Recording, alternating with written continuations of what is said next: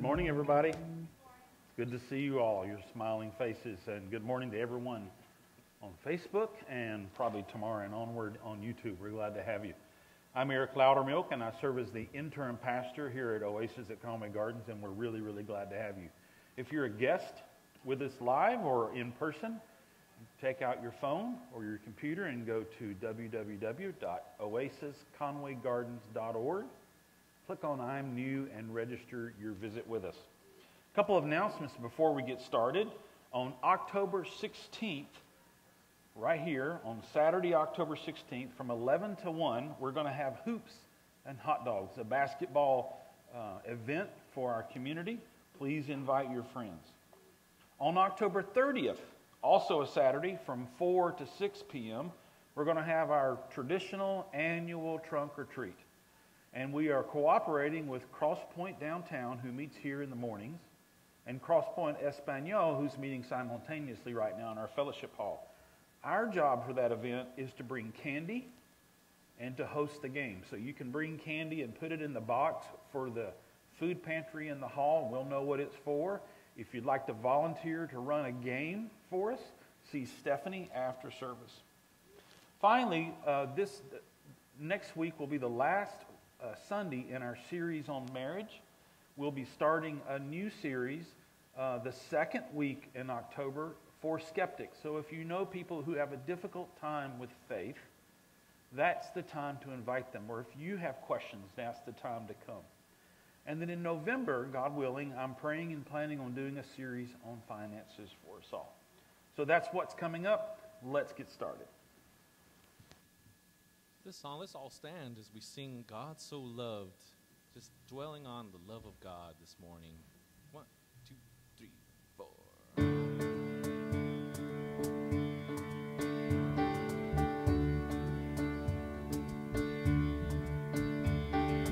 Come all you weary, come all you thirsty, come to the well that never runs dry.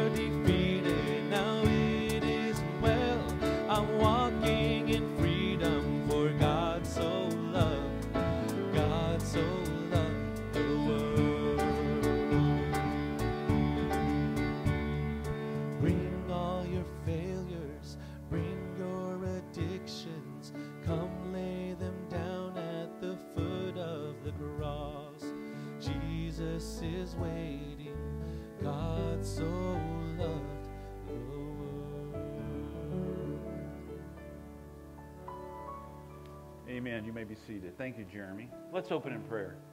God, thank you again for our family, for these that are gathered with us today. We ask you to be with us today as we worship you and learn more about communication in marriage. Amen. Amen. All right, you guys ready to play a game? We're going to play Family Feud. I need my players to come forward, my willing victims. Three guys. This is Jama Aracelis. Did I say it right, Aracelis? And this is uh, Jackie Ortiz. This is Ron Jaffe. Everyone knows James. And then I don't know who this guy is on the end. So, so I'm going to, to start this, I'm going to read a little paragraph. Then I'll read the question. You ready? So I'll tell you when I'm going to read the question. A 1984 research study reported in the Journal of Human Communication Research involved 33 married couples. Each partner was given a list of 10 issues important in marriage. What's important in marriage? Love. Love. What's important in marriage? Communication. Taking out the trash. Each partner had to describe how they felt, their spouse felt on these issues. So you had to write down what you thought Pat thought. And then you had to record what you yourselves thought about the issue. Okay?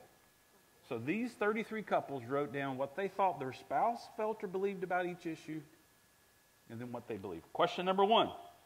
According to this study, what information did spouses use most often to inform themselves about their partners? What information did they use most often to inform themselves about their partners?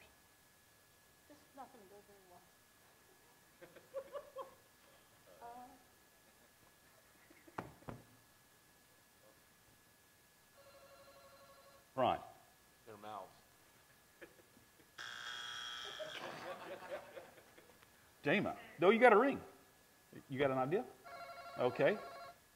Um, communication. How's that? Okay. You can consort with your team and try to come up with an answer. You can consort with your team and try to come up with an answer.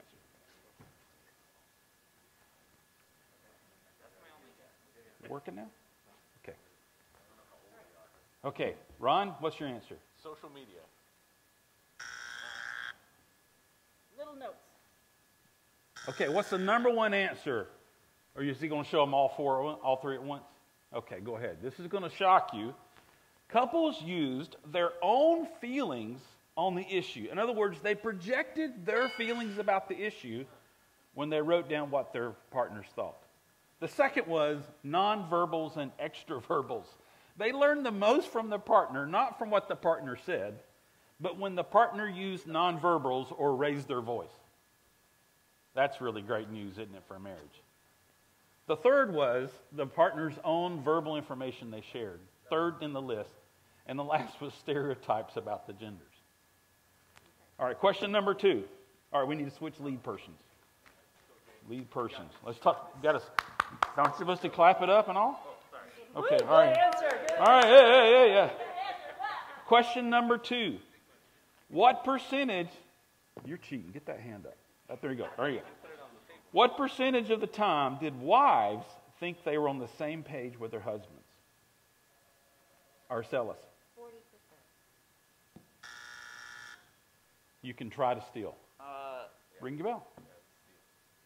He's got a bad phone. Okay, go ahead. Um, 90. Correct answer? 68% of the time, wives thought they were on the same page with their, with their same issue. All right, next partners. Switch. Okay, let's see if we can get, we have two questions left. Can we get one answer right? No, Just one answer? Okay. We're on the same page. same question, reversed roles. What percentage of the time did husbands think they were on the same page with their wives? 15%. Good answer. Uh, Jackie. Um, hey! You're within, she was within 5%. 75% of the time, husbands thought, yeah, I know what my wife thinks. All right. Really? This team won, this team goose egg. One more switch here, switch players. Okay. This time, husbands and wives are grouped together supposed to be ready in season and out of season. Sorry, man. I'm You ready? Come on, Ron. You're the I'm tech shaking- guy. I'm shaking. There you go. What percentage of the time did husbands and wives actually understand each other? Jama, 25. Ron. 10. Correct answer. 19% of the time. Thank you for playing. Thank you for playing. Give them a hand. I think we need to talk about communication this morning.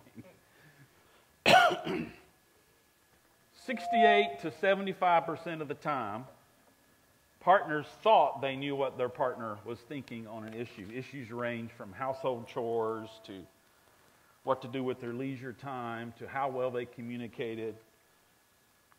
But only 19% of the time did they really, really know what the other was thinking. Fascinating study. All right, you should have a handout, and Jack has those, and I don't think we got them passed out in service. So, Jack, if you and your team, one of the, Joe and Sam, can you help him out? And let's get these passed out. We're, um, I'm going to start my timer. Because if I don't start my timer, we'll get out at 3 instead of 2.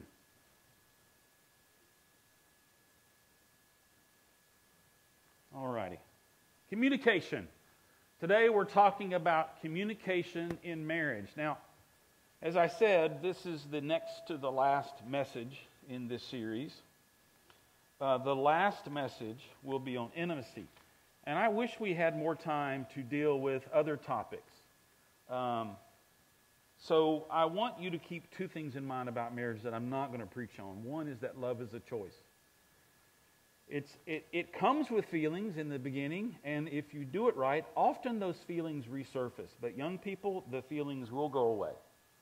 And then you choose to act on those feelings, and they come back. The second thing is that finances is a major stressor in marriage, and that's one of the reasons we'll deal with finances in November, God willing. So we're talking about communication.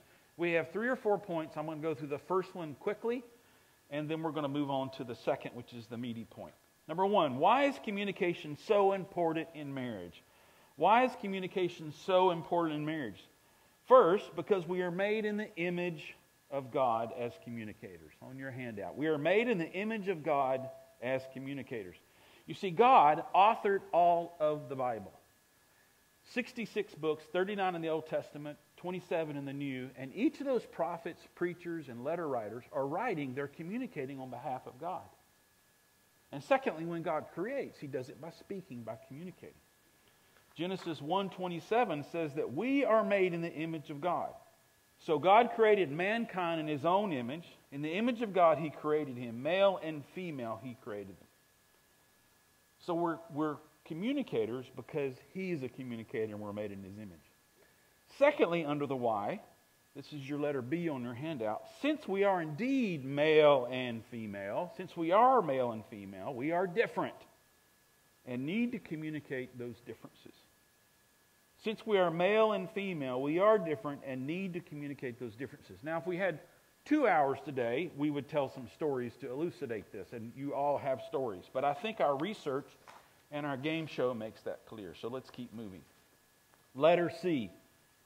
Ever since humanity fell into delusion, I like to use other, words other than sin. Now, preacher, don't you believe in sin? Yes, I do. But there are words that have become obstacles, and I'm trying to use new words that say the same thing. We think we know better than God. So when we fell in Genesis 3, that was a delusion.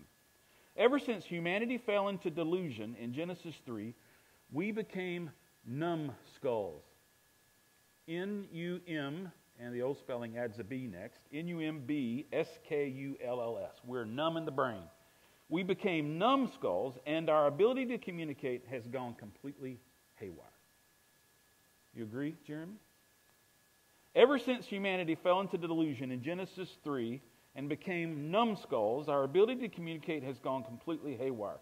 We talked about this last week, but reading parts of Genesis 3 14 and 16, we read, The Lord God said, Because you have done this, to the wife, he says, Your desire shall be contrary to your husband but he will rule over you. Jackie, come up here in a moment. Would you mind? Now, I'm not picking on Jackie. We rehearsed this.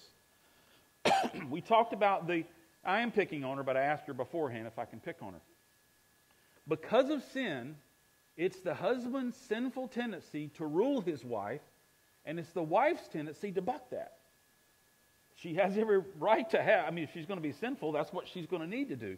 Right, Jackie? What's the matter with you? Let me rule you. Come on, girl. Thank you.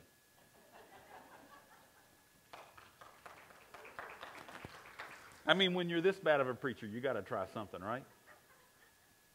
Wives, you ever feel like that? In your spirit? Let me hear it. Do you ever feel like that?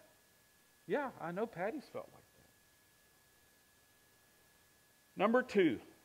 I told you we'd go through number one quickly. Here's where we get into some interesting stuff. The goal of communication, now we're on number two, the goal. The goal of communication is to correct, excuse me, my understanding of my spouse so I can change my behavior and serve him or her better. The goal of communication is to correct my misunderstandings of my spouse so I can change my behavior and serve him or her better. Now, as if you want a, a little eye opener, as I was studying yesterday, this was an eye opening moment for me. Because as a male, what do you think I want to do in communication? Well, the second half of this point describes it. This is not on your handout. As opposed to communicating to my spouse what's wrong with her or him so that I can get him or her to change. The goal of communication is to correct my misunderstanding of my spouse so that I can change my behavior and serve him or her better, as opposed to communicating to my spouse what's wrong with her or him so that I can get him or her to change. The goal here is to change me, to change my information so I can serve her. Remember the research in the game partners strongly overestimated the similarity between what they thought about an issue and what they thought their partners felt about that issue. For husbands, they scored 75% of the time. They scored themselves as 75% of the time, yeah, I'm, I'm, on the same page with my wife on finances. Yeah, I'm on the same page with my wife on intimacy. Not. And wives scored themselves as 68% of the time. Yeah, I'm on the same page with my husband about our communication styles. Uh, we're on the same page 68% of the time about how we spend our leisure time or how we deal with the kids. But in reality, when researchers then took the, the questionnaires and read what the husbands and wives each thought about each other, so let's say Chuck and Darlene did this survey, and they were the 68 and 75, they had another questionnaire that said, I, Darlene, this is what I think about how we spend our leisure time. And Chuck writes, this is what he thinks about his leisure time. Only 19% of the time we're on the same page. Darlene wants to plant flowers, and Chuck and I are off at uh, the New Smyrna Raceway, right? That's how we spend our leisure time. So we need to communicate. We need to correct our misunderstanding of each other. Another way to look at that last percentage, instead of 19% of the time we agree, what it means is that 81% of the time in this group of survey couples, we're on the same page. Or we're on the wrong page. And these are those who completed the survey. There were two who didn't respond to the research request. Nine more said they would but didn't finish. And why do you think they didn't finish? They had to record themselves discussing these issues. I don't think a lot of couples want to. I think these are the couples who did better than others. So this actually helps me. When I communicate with Patty, when you communicate with your spouse, this helps us see that she or he is not on the same page as I am. That means then, in communication with your spouse, you're going to have to accept that you're going to hear some negative things. Guys, how does it make you feel when your spouse doesn't understand you? Ron, how does that make you feel? Not great, right? Ladies, now, Carol, your husband has gone on to be with the Lord, so we can pick on you. How did it make you feel when he didn't get you? Frustrating. And how do we express frustration? With negative comments. This is how I feel. This isn't right. And sometimes with emotion. So that means we're going to have to be okay hearing some negative emotions. In fact, the research showed that couples with satisfied and happy marriages that the partners understood each other more when they felt comfortable enough to share this information. If I flip that around and state it this way, it's that satisfied marriage partners were those who engaged in conflict and shared negative feelings with each other. And it, they felt better understood by their partners. They were on the same page. There is a business team building author named Patrick Lencioni. He's one of the most famous authors in the business world on getting teams to work together. And he says that the lack of trust in a team means the avoidance of sharing feelings and holding each other accountable. So if you're not communicating with each other, you surely don't trust each other, which means there's no way you're going to tell him or her how you feel. Because that means being vulnerable. Thus, we need to communicate and grow in trust in marriage, even though and because we don't understand each other. We don't understand each other. Patty's getting ready to fly back from Tennessee. I think I heard an amen. 1 Peter 3 7. I'm going to read this in a couple of translations. If you have your Bibles, turn there. 1 Peter 3 7. You have time because I'm going to read it a couple of different ways. Likewise, husbands, live with your wives in an understanding way. Live with your wives in an understanding way, showing honor to the woman as the weaker vessel. Here is a translation done by a scholars group, more for scholars. It's called the Lexham English Bible. Husbands, in the same way, live with your wives knowledgeably. Knowledgeably. Did I pronounce that right? Knowledgeably. Live with your wives knowledgeably as the weaker female vessel, showing them honor. How can you honor her if you don't know her? And you don't know her according to the research, even when you think you do. Now, if you think the goal of communication is to tell your spouse your opinion of what's wrong with them, there's a word in Scripture found for this. It's called fool. And it describes probably 75% of my communication. A fool takes no pleasure in understanding, but only in expressing his opinion. A fool takes no pleasure in understanding, but only in expressing his opinion. And you know what, fellas? Feeling, quote, we're on the same page matters most in the wife's satisfaction in marriage. Feeling we're on the same page matters most to the female. Now, this was a controlled study. They actually did the study twice. They did it with 33 couples, gathered their data. At the same time, they were doing it with another set of 40 couples to make sure the findings were correct. And they found that when things weren't great, especially in communication, it bothered the wife more. It bothered the wife more. Why is that? Well, first off, because she's less empowered. And by that, I'll point out two ways she's less empowered. I think I could have taken Jackie. I think I could. Now, I'm not going to go after any of those Olympic female weightlifters. But typically, scientifically, we know that men are physically stronger, though uglier, than women. And that's not fair in marriage. So she feels less empowered. And secondly, in our culture, at least, and in many cultures, the wife feels less empowered. Because when they get married, more often than not, she leaves her job. More often than not, she stays home. And he's out getting fulfillment in his career. Thirdly, she's more relationally geared. Did you know, fellas? Sorry to tell you this, James. But at six months in the womb, the male embryo has a surge of hormones which fries out half its neural net. At six months in the womb, the male embryo has a surge of hormones which fries out half its neural net. Darlene, did you know Chuck was operating with half a brain? That's why we miss out on so much. We don't get it. We are numbskulls. So when we're not on the same page, we're clueless. But it, she carries it all day long. And the last reason she carries it heavier is because he is geared to derive more of his meaning and purpose in life from his job and career. Where are women designed to, de- to derive their meaning and purpose in life? From their family and relationships. So when we're off preparing sermons, and, and guys, I do it too.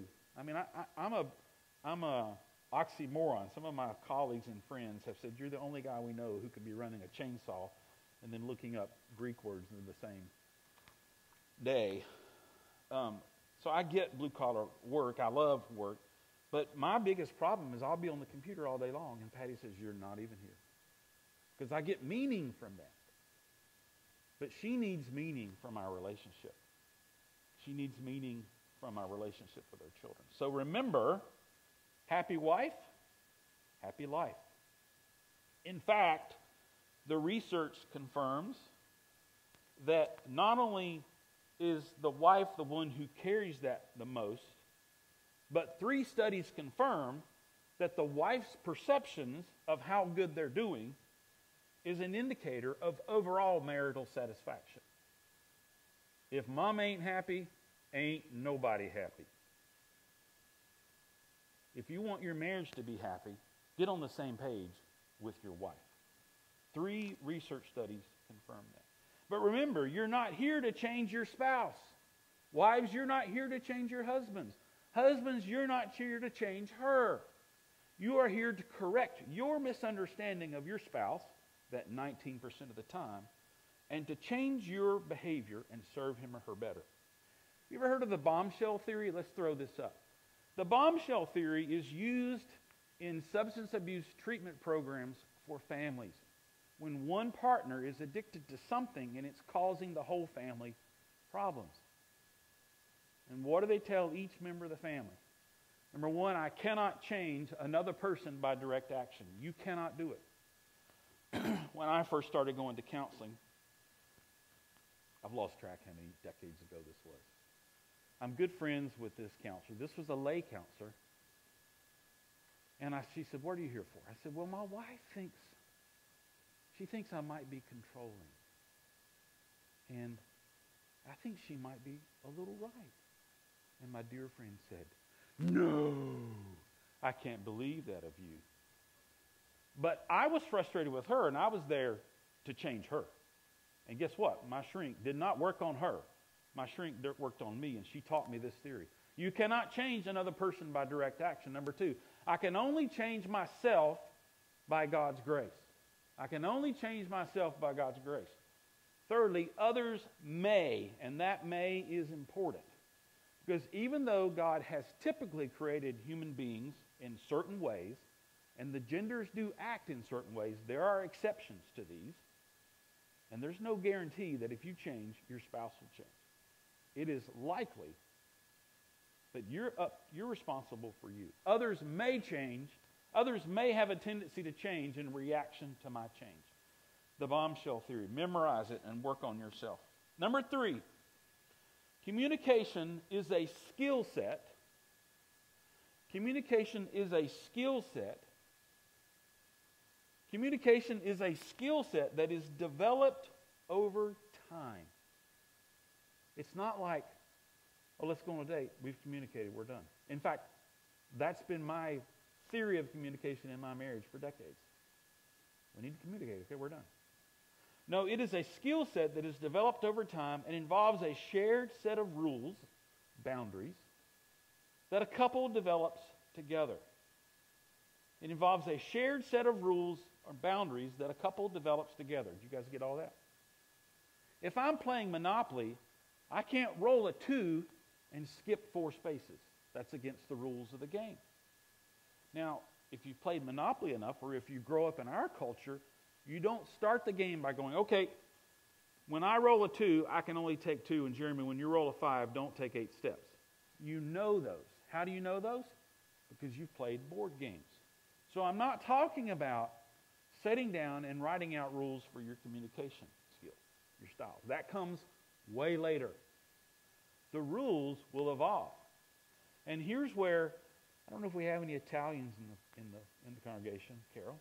I'm going to stereotype Calvin, uh, Italians and redheads. Your rules may be different. Your culture may be used to more volume in an argument. And other cultures, my wife's culture, it's not that way. And I'm not telling you that, that volume is always wrong. It might be okay in your culture.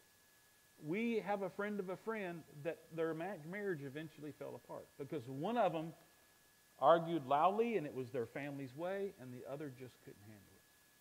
So, communication is a skill set that is developed over time and involves a shared set of rules or boundaries that a couple develops together. And I'll talk a little bit more about them in a minute. In other words, there's a right and wrong way to do it, and it takes a lot of practice to develop it as a couple. James 3 6. The tongue is a fire. The tongue represents the world of wrongdoing among the parts of our bodies. It pollutes the entire body and sets fire to the course of human existence and is set on fire by hell. That's the wrong way to do it. You've got to learn to do it the right way. Chaplain, professor, and pastor Dr. Gregory Brown says while dating couples often spend as much time as possible with one another, sadly, in marriage, quality time starts to fade. The husband has work, the wife is typically caring for the house and children, and possibly working as well. As the children get older, the husband and wife spend more time focusing on the children and less time on each other. As this rhythm continues, they eventually get to the point where they no longer know one another at all. Those two individuals change every day and continue to grow to one another differently. So they must make time for one another. This can include yearly couple retreats. Yes, I said yearly. Weekly date nights. Daily times of intimate communication. My wife and I, he says, try to spend at least the last hour of every day without TV or computer on. By doing this, we aim to get to know each other better. when I was at my lowest in my doctoral dissertation, we tried to spend every Sunday night together. We did not hit that goal, but by having that goal, we got close to it. We knew we had to keep dating in the toughest of times. Now, our best time is walking together, but uh, we don't always do that. So let's talk a moment about time. It needs to be dedicated and repeated. The time you spend with your spouse to communicate needs to be dedicated and communicated. I came in dedicated and repeated, excuse me. I came into my office one time when I was at the West Palm Beach campus, and back then I handled student discipline issues, which tended to make people angry. Parents got angry, students got angry.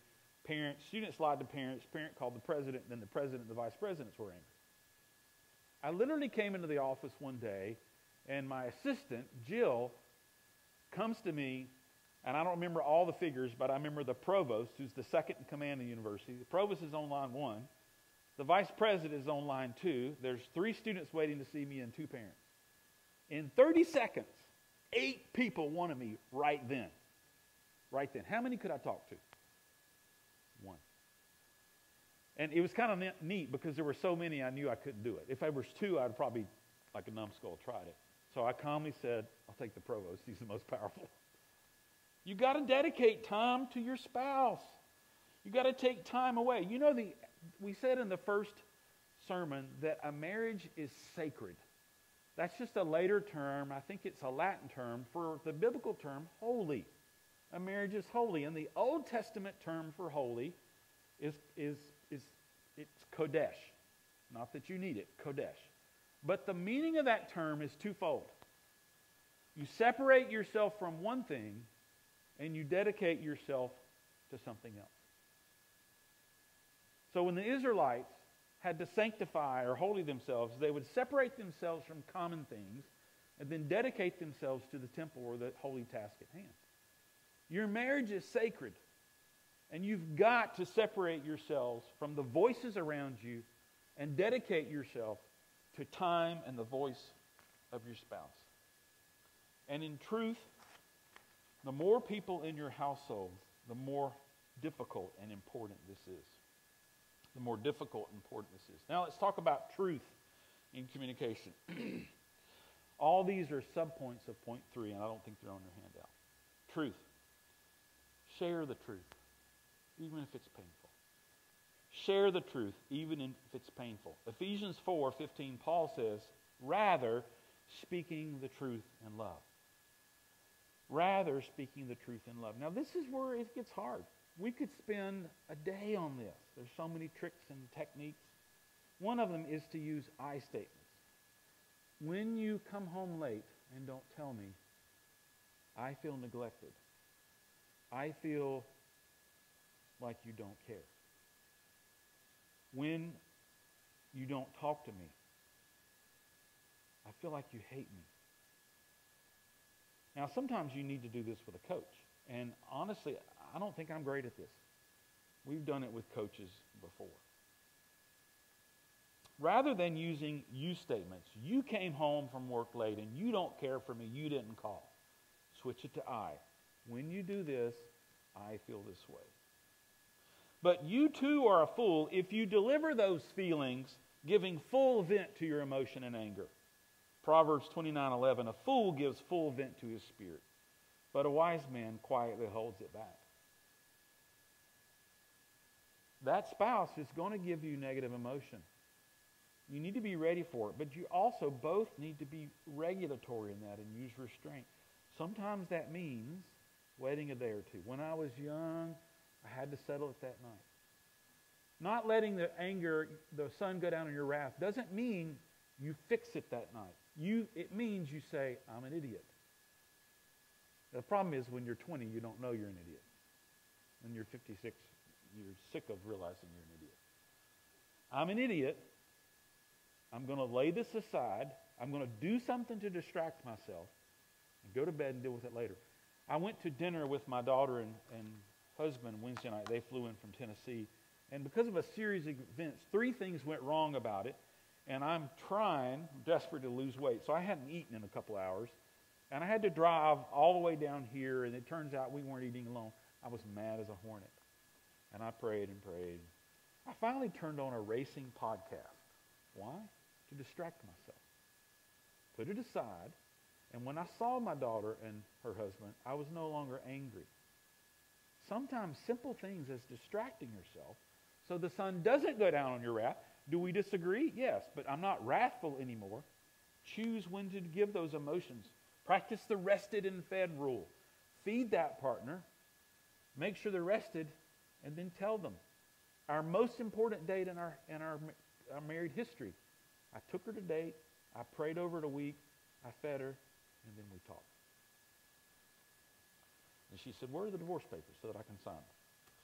That's not funny. But she didn't do that. what about listening? What do we say about listening? Listen, listen, listen. Proverbs 18 13. If one gives an answer before he hears, it is his folly and shame. And when you hear that angry complaint, be quick to listen and slow to anger. James 1:13. You've heard the old saying, God gave us two ears and one mouth. There's a reason for that. So we listen twice as much as we talk. Now let's go back to the gender differences. Guys, you've got to be gentle. This is where I stand in the office of pastor and not in the person of Eric because I have failed this so many times. Guys, you got to be gentle. Dr. Brown states again Peter calls wives the weaker partner or weaker vessel. People just, they just flip out over this. Well, very simply, it first off means she's a weaker physically person. I think I can take Jackie. I think I can. No, she says I can't. But it may mean more than that, that she's delicate and gentle. And because the woman is more delicate and gentle than the man, he is more prone to hurt her physically, emotionally, and verbally. And for this reason, Paul commanded the husbands not to be harsh with their wives. And Peter calls for husbands to be knowledgeable of their wives and considerate of them as the weaker vessels. Now, ladies, though we're beating up on the guys, you have a job in this too. Certainly, you must follow these commandments as well. You got to be considerate of his style. Don't hit him when he comes in. You know, feed that boy. And then go, baby, we need to talk about something. And then if you can turn on the cry button, it works so good. Start, now here's a very, very simple but great tip. Start with easy, concrete tasks, tangible issues. The study had 10 issues, and they said the issues that were concrete and tangible were easier for couples to deal with. And as you build up your communication habits, then you can move on to more difficult topics like household tasks. I was floored when a counselor said to Patty and I, Patty, what's one thing you can tell Eric that he could do to help you? You understand him better, and him serve you. And Patty, what's Eric, what's one thing she can do? I don't have a clue what I told her, but she said, when you get ready for bed at night, please don't leave your clothes on the floor. We saw a counselor for that. We paid a hundred bucks for this? You got to be kidding me. I was shocked that that mattered so much to her. I was shocked that she didn't feel safe to tell me that uncoached. Now, do you, do, ladies, do you know why I leave my clothes right there on the floor? Do any of the guys know?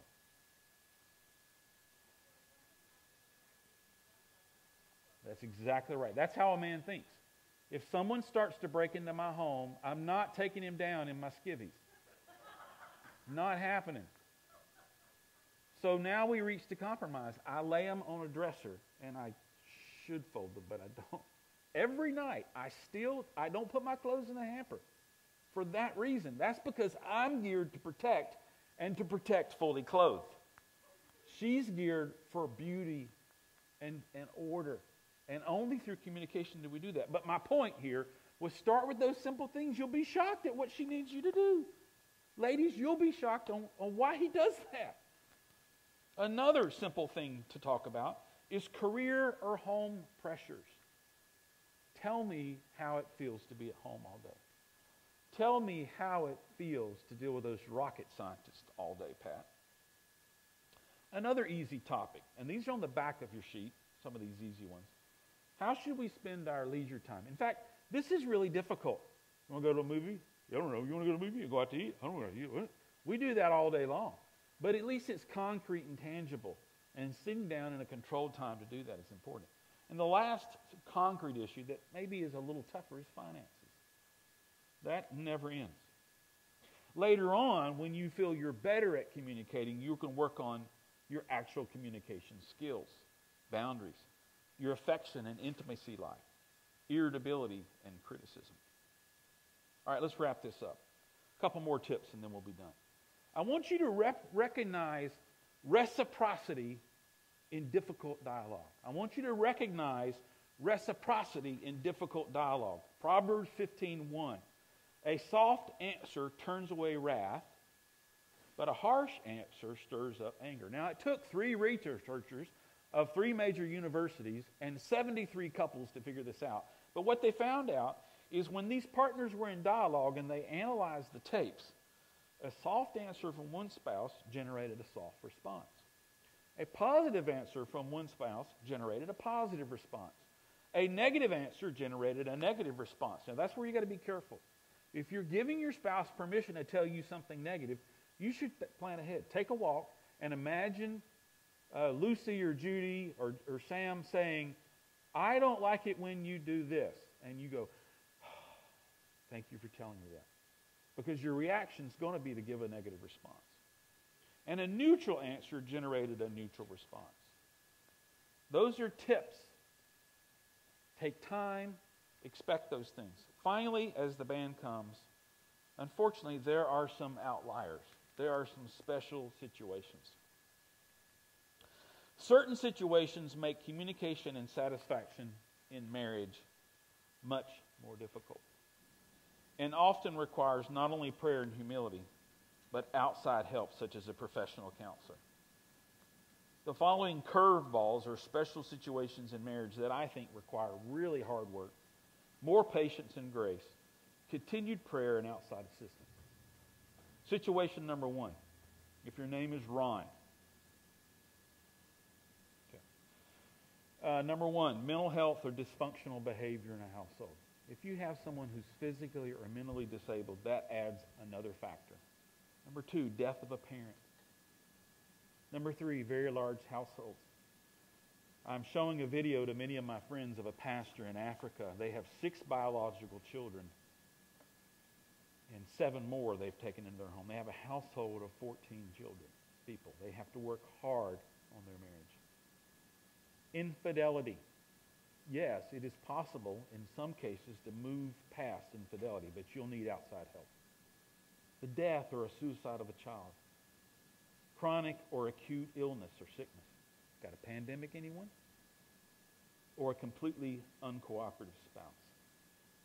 If you have those situations or you're having an especially difficult time, realize you're going to have to be more patient, more graceful with your spouse. You're going to have to pray more, and I highly encourage you to seek outside help. Find a counselor to help you through those things, and I can help you find one.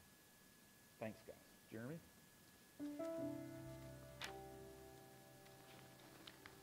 And all these things, I think we're praying that God changes our hearts at every step in our marriages, in our relationships, and even as we go throughout life. Sometimes it just takes being still, contemplating on who God is. We're going to sing this song still.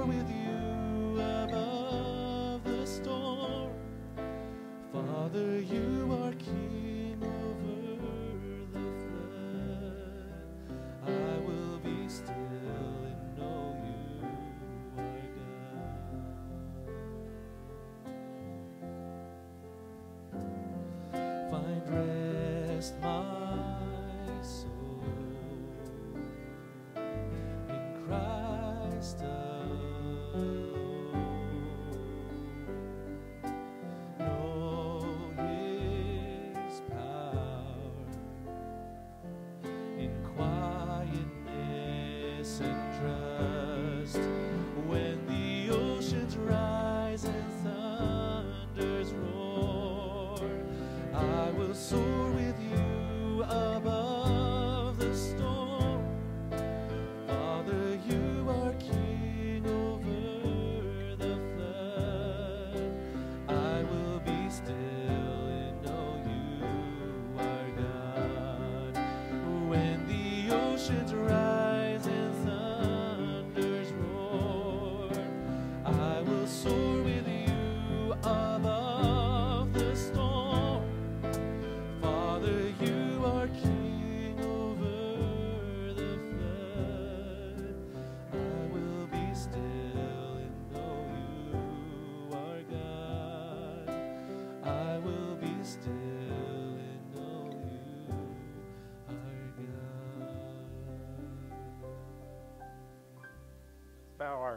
bow our heads. Jeremy, you can continue to play. Each week we remind ourselves that it's God's grace that gives us peace with Him. And in an effort to keep our relationships as close to Him as possible, we bring to Him each week our failures this week. So think over Sunday, Monday, Tuesday, Wednesday, Thursday and Friday, and Saturday. Where have you failed in this week? Perhaps this week your failure was with your spouse. And just silent into yourself in your heart, say, God, I confess this failure to you. I confess that failure to you. The Word of God says, if we confess our sins, He is faithful and He is just so that He forgives us our sins and cleanses us from all unrighteousness. God, we bring our failures to you. We bring our delusions to you where we foolishly believe the delusion that we know what's better for us and then we act on it. God, we are numbskulls, but man, you're amazing. And we thank you for that forgiveness. In Jesus' name, amen. Friends, we have some prayer requests to pray about today, and one is going to be close to your heart. Now, she's not in serious condition, but you may have seen this week that Glenn Cox, Donna Cox, and Katie Cox all have COVID. Katie is quarantining out of their house somewhere else. And Donna and Glenn have been in the house, and a friend is taking care of them. Well, the doctors gave them some numbers that if their oxygen levels got to a certain point, they wanted them back in for a chest x ray. So Glenn texted me this morning at 10 telling me that he was taking Donna to the hospital for that x ray because their oxygen levels have gotten close to that point. Friends, no one fights harder than Donna. We need to pray today that she will have the strength to fight this. And don't you know, they're, they're probably scared. So we want to pray for them. Wilder's negative. Uh, he's quarantining away, but we want to pray for them. Continue to pray for Floyd and Ann's health. Kathy Gillen's sister, Debbie and Chris. Kathy is out of town tending to them. Joe Ball's brother who's fighting cancer. And Lucy Calhoun's. Let's pray. Father, we lift up our family to you. And God, today our hearts are concerned most for our friend Donna Cox. God, she's a fireball, but today she needs your fire in her life. She needs your strength, God. We pray that your Holy Spirit would strengthen the tissues and the systems in her body, that you would raise oxygen levels, that you would dissolve mucus and phlegm. We pray for a miracle, God, and we pray that you would use the doctors to diagnose and treat above their natural ability, that they would be filled by your Spirit to treat her. And we pray for Glenn and Katie as they heal. And we, while we're at it, God, we just lift up our world to you. Lord, I saw this week in an email that our mayor has declared a day of prayer and fasting against this virus in October. So we are thankful that our city is at least turning to you. And we pray, God, that you would bring healing. God, we're thankful that Faye is home. We pray for recovery for her. We lift up Floyd and Ann that you would give them answers to how they're feeling physically. For Chris and Debbie, Kathy's sisters, we pray for healing, God. That family's gone through so much. We ask you continue to heal Joe Ball's brother as he fights cancer. And for Lucy's daughter she recovers for surgery. God, our world needs you. Our world is broken. Our nation is broken. God, we ask that you would give our leaders wisdom, regardless of their political affiliation or their belief system. We pray you would guide the king. But May the heart of the king be in the hand of the Lord and heal our land. In Jesus' name we pray.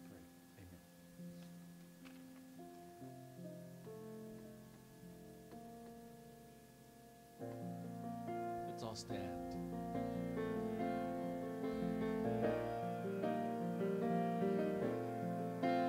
My hope is built on nothing less than Jesus' blood and righteousness. I do not trust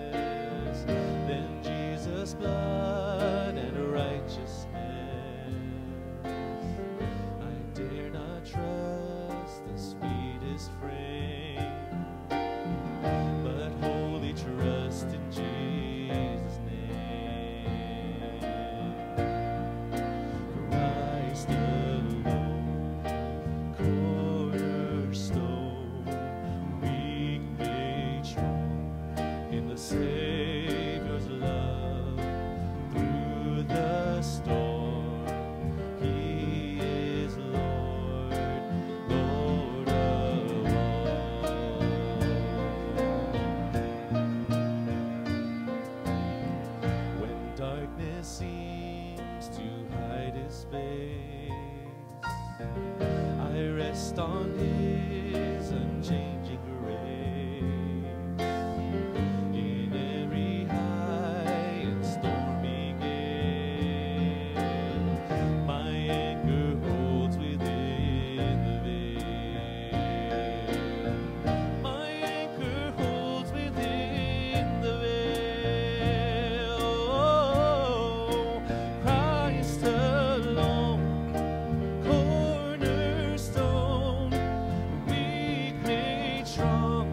In the Savior's love,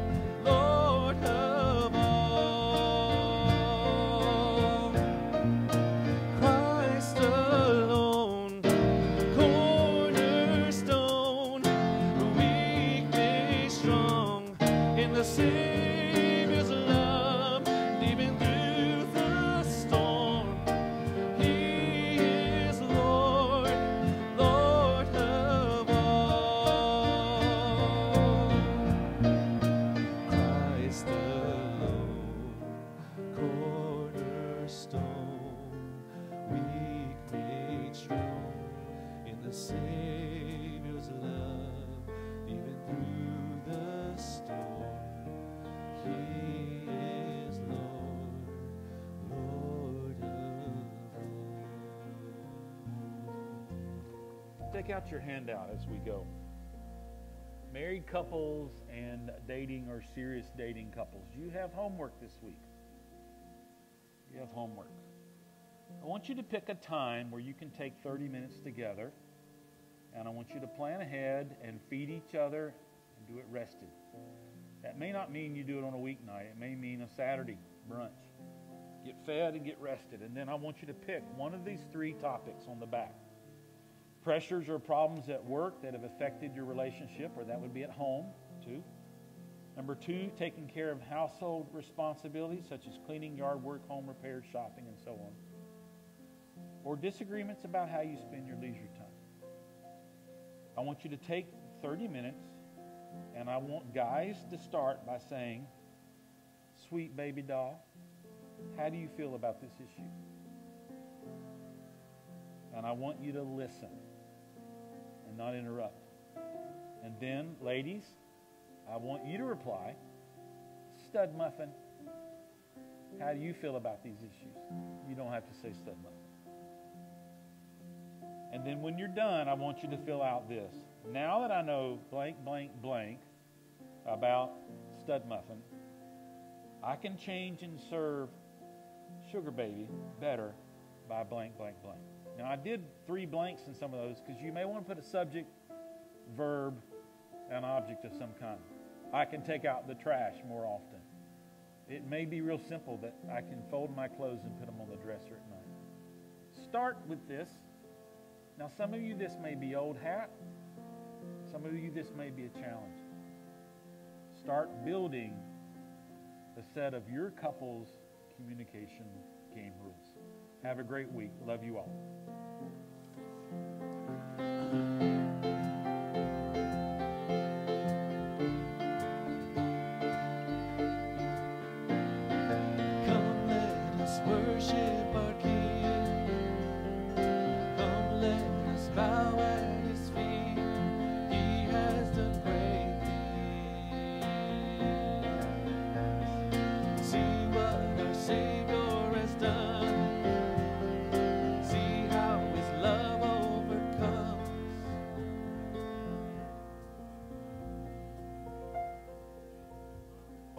offering plates with ushers as you leave.